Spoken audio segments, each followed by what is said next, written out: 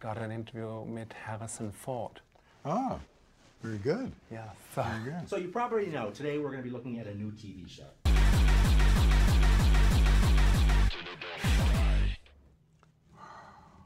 And now, my exclusive interview with Harrison Ford is only moments away. But first, some more dancing with Bruno.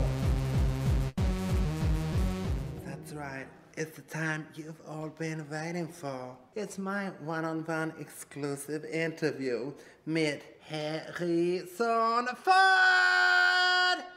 Also, her mit Harrison Ford. Fuck off.